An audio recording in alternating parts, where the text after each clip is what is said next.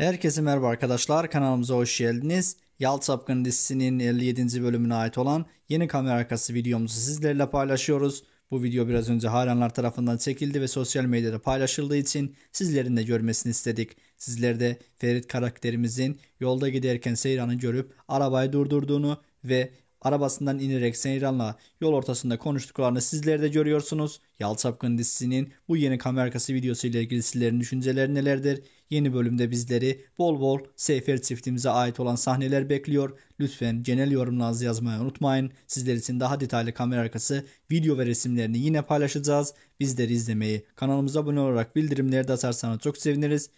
Ve bu arada bizleri izlediğiniz için sizlere ayrıca teşekkür ederiz. Hoşça kalın. İyi ki varsınız.